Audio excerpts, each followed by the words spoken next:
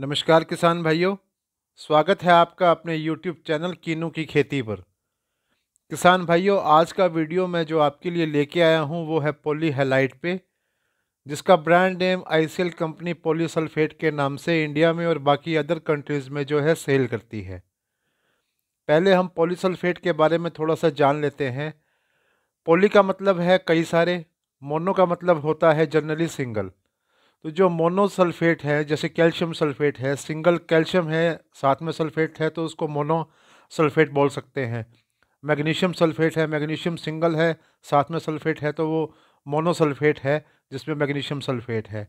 इसी तरह पोलीसल्फेट जो उन्होंने ब्रांड अपना रखा है, उसका मतलब सीधा है पोली का मतलब कई सारे। पोलीसल्फेट के अंदर कैल्शियम मैग्नीशियम पोटेशियम तीनों के जो है सल्फेट फॉर्म में अवेलेबल है, इसलिए उसका नाम उन्होंने आईसीएल कंपनी ने पोलीसल्फेट रखा है। सबसे पहले जो है पोली हेलाइट हमें देने वाली आईसीएल कंपनी ही है, लेकिन अभी 2023 की रिसर्च के अंदर, ये नाइन्थ नवंबर 2023 का जो है, एक डाटा है जिसके अंदर वुड्स माइंथ वुड स्मिथ माइन जो है, वो भी इंग्लैंड यूके में खोजी गई है, वो नियर बोलबी माइन के है, जो हमारे 2027 के अंदर हमें सबसे लार्जेस्ट पोली हेलाइट का जो है स्टॉक डिपॉजिट जो है, वो हमें प्रदान करेगी। खैर, हमें पोलिस हेलाइट है, चाहे पोलिसल्फेट है, हमें उसकी खूबियों को जानने से मतलब होना चाहिए। तो मैं आपको आज की वीडियो में फ़ायदे क्या क्या है पोलिसल्फेट के, उस बारे में आपको मैं बताना चाहूँगा। पोलिसल्फेट के क्या क्या फ़ायदे हैं, हमें इसे समझने के लिए तीन चीज़ों को साथ में लेकर चलना पड़ेगा। पहला एस्पेक्ट है न्यूट्रिएंट की अवेलेबिलिटी किसान भाइयों, दुनिया में कितने भी, जितने भी प्लांट है, चाहे वो अपना फ्रूट की क्रॉप है, चाहे वेजिटेबल है वीट है कॉर्न है, कोई भी प्लांट है, वो सीधे का सीधा न्यूट्रिएंट जो है वो ज़मीन से ऑर्गेनिक और इनऑर्गेनिक फॉर्म में से इनऑर्गेनिक फॉर्म में लेना पसंद करता है इनऑर्गेनिक फॉर्म में ही लेता है। फॉर एग्ज़ाम्पल जैसे अब आप स्क्रीन पर जो देख रहे हैं, जैसे नाइट्रोजन है, वो नाइट्रोजन दो फॉर्म में लेगा अमोनियम की और नाइट्रेट की फॉर्म में। अब अमोनियम पे चार्ज पॉजिटिव है तो उसको हम कैटाइन बोलते हैं। नाइट्रेट पे चार्ज नेगेटिव है, आपने देखा है एन ओ थ्री नेगेटिव लिखा है तो उसको एनाइन बोलते हैं।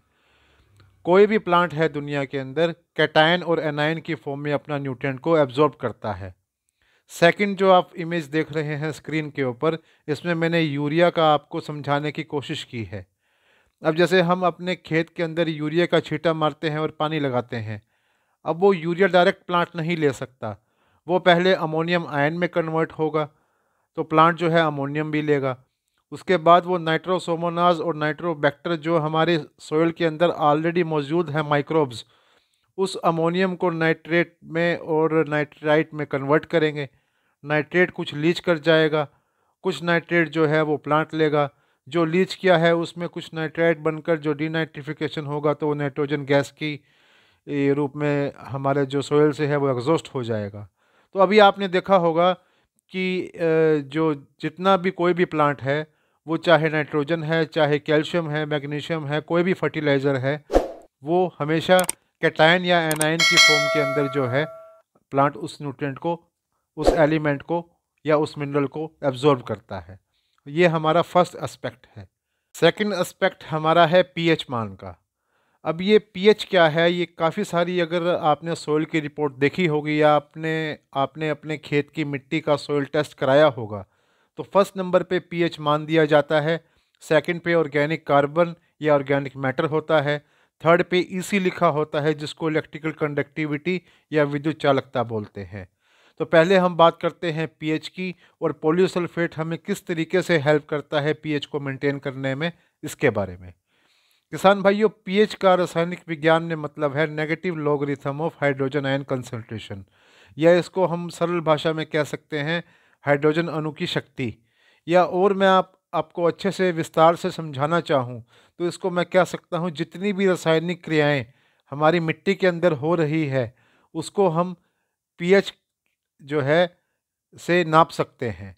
अब पीएच हमें है, वो बताएगी कि हमारी मिट्टी के अंदर क्षारीय गुण ज़्यादा आ रहे हैं या क्षारीय मिट्टी हो रही है, या हमारी जो मिट्टी है, वो अम्लीय मिट्टी है।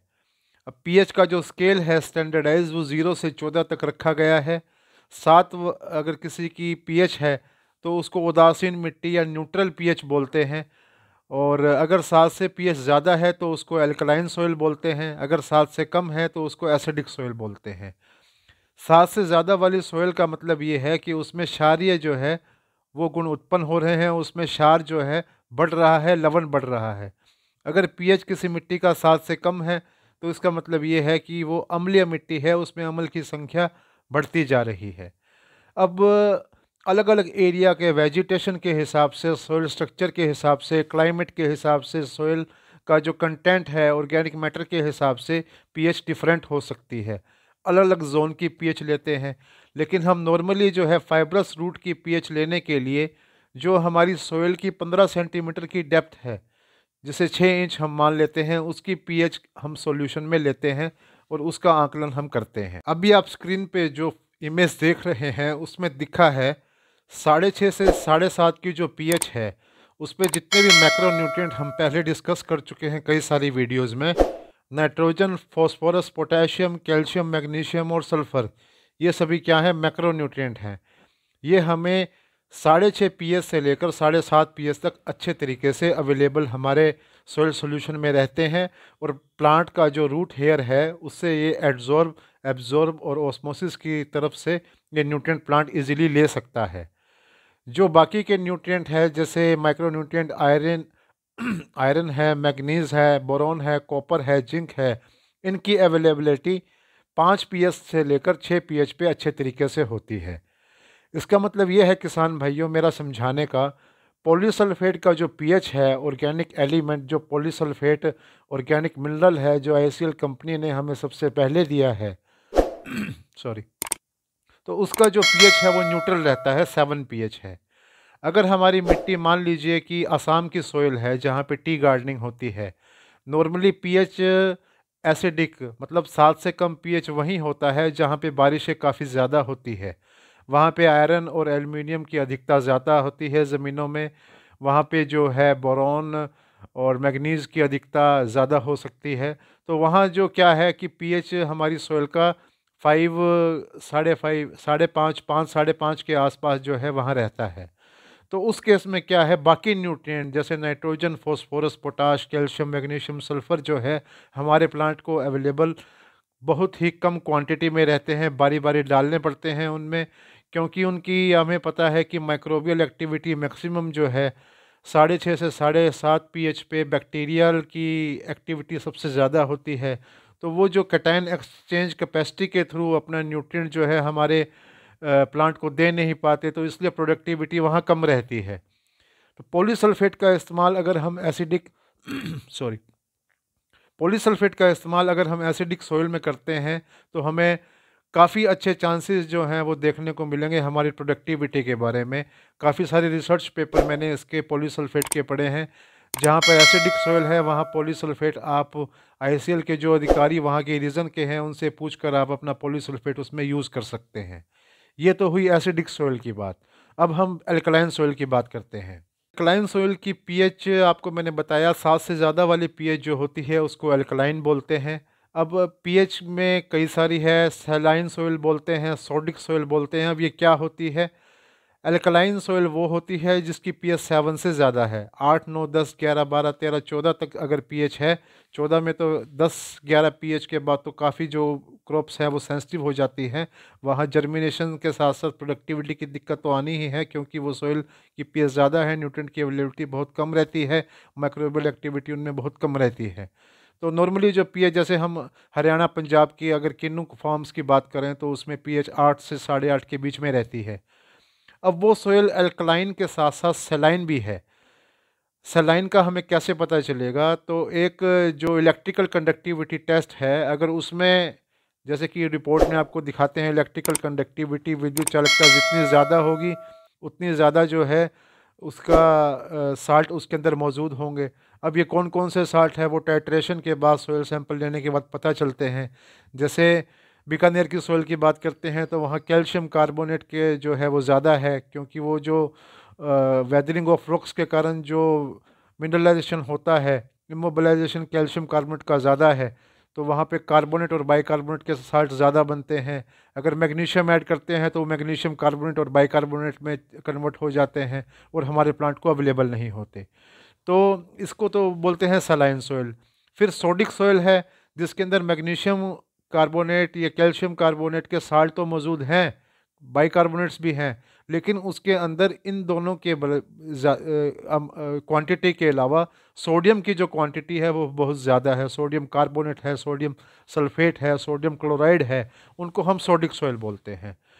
तो जो पोलीसल्फेट है, वो एक ऐसा ऑर्गेनिक मिनरल हमें आईसीएल कंपनी ने प्रोवाइड किया है, जिसकी पीएच एक तो सेवन है। सल्फेट ग्रुप के जितने भी साल्ट हैं, जैसे कैल्शियम सल्फेट है, मैग्नीशियम सल्फेट है, जब हम सोयल में वो साल्ट ऐड करेंगे अपना बाय यूजिंग जैसे हम पॉलीसल्फेट का यूज़ करते हैं और फर्टिगेशन करते हैं तो जितने भी क्लोराइड और सल्फेट के साल्ट है, चाहे वो कैल्शियम सल्फेट है, कैल्शियम क्लोराइड है, वो हमारी पीएच इंक्रीज़ नहीं होंगे। अगर मान लीजिए हमारी सोयल की पीएच एट है और पॉलीसल्फेट को हम उसमें ऐड करते हैं तो हमारी जो सोयल की पीएच है, वो एट से कम बेशक हो सकती है, ज़्यादा नहीं होगी। तो इसका फ़ायदा एक ये है। सेकंड फ़ायदा हमारे को पोलीसल्फेट का यूज़ करने में, अल्कलाइन सोयल में ये है, जो सोयल मैंने आपको बताया सोडिक सोयल है। सॉरी। जो सोडिक सोयल है, जिसके अंदर सोडियम की quantity as compare to calcium और मैग्नीशियम ज़्यादा है, अगर उसमें हम पोलीसल्फेट का यूज़ करते हैं तो सोडियम कैटाइन एक्सचेंज कैपेसिटी के जो उससे कंसेप्ट से सोडियम वहाँ से निकलकर कैल्शियम वहाँ आ जाएगा और सोडियम जो है वो लीच कर जाएगा। तो ये भी हमारे लिए अच्छा है, अगर पीएच हमारी बहुत ही ज़्यादा है, मान लीजिए नौ, साढ़े नौ, दस पीएच है और उसको हमें ठीक करना है तो हम पोलीसल्फेट का उसमें यूज़ कर सकते हैं सोडिक सॉइल के अंदर, ताकि जो हमारा सोडियम है वो रिप्लेस होकर कैल्शियम आ जाए और हमारा जो सोडियम है वो लीच कर जाए, हमारे सॉइल का पीएच डाउन आ जाए सोडियम की टॉक्सिसिटी कम हो जाए। तो ये है पीएच का कंसेप्ट तो आपने अभी जाना होगा कि पीएच किस तरीके से हम जो पॉलीसल्फेट का यूज़ करके पीएच अगर कम है तो उसको हम नॉर्मल पीएच पे लाकर sodium calcium magnesium sulphur plant को अवेलेबल करवा सकते हैं और ज़्यादा है तो भी ये जो पीएच को हमारे कम करने में सहायता करता है। थर्ड जो कंसेप्ट है वो है इलेक्ट्रिकल कंडक्टिविटी का। और साल्ट इंडेक्स का। इलेक्ट्रिकल कंडक्टिविटी जैसे मैंने आपको बताया रिपोर्ट में, हर जगह सोइल की मेंशन होता है सोइल रिपोर्ट जब हम करवाते हैं किसी लैब में तो उसका मतलब है विद्युत चालकता। अब इलेक्ट्रिकल कंडक्टिविटी जितनी ज़्यादा होगी, उसका मतलब ये है कि उतना साल्ट की कंसनट्रेशन हमारी जो सोयल सोल्यूशन में है, वो ज़्यादा होगी। साल्ट ज़्यादा होने के नुकसान ये है, किसान भाई, एक तो पीएच का जो है, वो लेवल बढ़ता है। सेकंड कुछ साल्ट की डिपोजिशन ज़्यादा होने के कारण वो टॉक्सिसिटी प्लांट में जो है हमें देखने को मिलते हैं। जैसे एग्जांपल के तौर पे अगर सोडियम क्लोराइड का साल्ट अगर सोडियम की टॉक्सिसिटी ज़्यादा है तो बाकी न्यूट्रिएंट जो प्लांट को अवेलेबल होने चाहिए, उस पीएच पे वो अवेलेबल नहीं हो पाते। एक्सचेंज नहीं हो पाता कैटाइन एक्सचेंज कैपेसिटी कम हो जाती है, उसकी वजह से वाटर रिटेंशन कैपेसिटी पे फ़र्क पड़ेगा। काफ़ी सारे जो फैक्टर हैं वो फिर रोल प्ले करते हैं और हमारा जो प्लांट की प्रोडक्टिविटी है, वो हम उसकी इतनी ले नहीं सकते साल्ट की इंक्रीज़ होने की वजह से। तो जो पोलीसल्फेट है, जितने भी इसके अंदर सल्फेट के ग्रुप हैं, जैसे कैल्शियम है मैग्नीशियम है, इसमें पोटेशियम है, ये सल्फेट फॉर्म में है, अगर हमारी पी एस ऑयल की आठ है तो आठ ही रहेगी, बढ़ेगी नहीं, इसका ये बेनिफिट है। सेकंड ये जो जितने भी न्यूट्रिएंट हैं, जो हमारे पॉलीहेलाइट या पॉलीसल्फेट के द्वारा हमें मिलते हैं, ये लीच नहीं होते। प्लांट को धीरे धीरे जितने भी ज़रूरत है, वो अपना हिसाब से लेता रहता है, क्योंकि ये एक ऐसे बॉन्ड के साथ बंधे होते हैं कि ये लीच होना इनका काफ़ी मुश्किल हो जाता है। बॉन्ड कोवलेंट भी हो सकते हैं, हाइड्रोजन बॉन्ड हो सकते हैं या इलेक्ट्रोस्टैटिक बॉन्ड, इलेक्ट्रोवैलेंट बॉन्ड हो सकते हैं तो उनके साथ जो हैं, ये चिपके रहते हैं तो ये लीच नहीं कर पाते। जो आखिरी कंसेप्ट है, वो है साल्ट इंडेक्स का। किसान भाइयों, जो भी हम फर्टिलाइज़र यूज़ करते हैं अपने खेत में, अपनी प्रोडक्टिविटी को बढ़ाने के लिए, जैसे यूरिया है डीएपी है एमओपी है एसओपी है अमोनियम सल्फेट है नाइट्रेट है, और काफ़ी सारे एमएपी है केएपी है पेंटक्साइल है, काफ़ी सारे जो साल्ट है काफ़ी सारे जो फर्टिलाइज़र है, वो साल्ट ही है। तो साल्ट इंडेक्स का आप समझने की कोशिश कीजिए किसान भाइयों मान लीजिए कि मैंने एमओपी जो है किसी रिक्वायरमेंट है प्रोडक्टिविटी अपनी अच्छी लेने के लिए पचास के जी प्रति एकड़ के हिसाब से। और मैंने उसको जो है पचास के जी प्रति एकड़ के हिसाब से उसको मैंने क्रॉप को जो है अपना सोयल के अंदर डाल दिया है।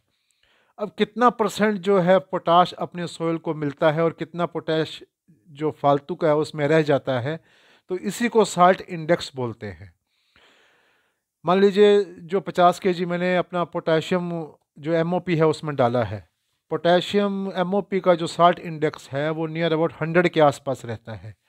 हंड्रेड साल्ट इंडेक्स का मतलब ये है, अगर उस प्लांट को पचास के जी में से तीस के जी की ज़रूरत है तो तीस के जी की बजाय उसको पंद्रह के जी ही मिलेगा। जो पंद्रह के जी बचा है, वो या तो किसी अनस्टेबल जो है साल्ट की फॉर्म में उसके अंदर हमारे सोयल सोल्यूशन में ऐड हो जाएगा और वो टॉक्सिसिटी इंक्रीज़ करेगा। इसी को साल्ट इंडेक्स बोलते हैं।